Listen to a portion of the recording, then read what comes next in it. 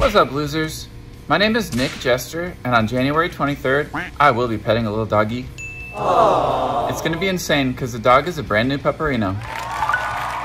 You're not gonna believe your eyes when I talk in a different register. Or the dog.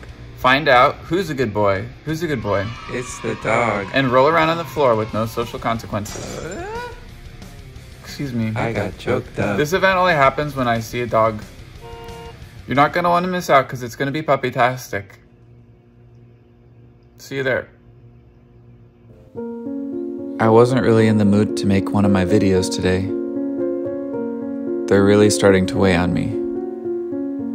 When I announce to the world when I'm petting a dog or taking a bath, I lose my sense of privacy and I lose my sense of self.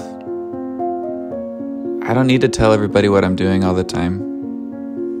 I need some space to grow outside of the box that I put myself in. That's why I've decided to make a big change in my life. I've decided not to be that guy from the videos anymore. I've decided that I'm gonna be myself in every way possible. Hey, This is the it's that guy from the video.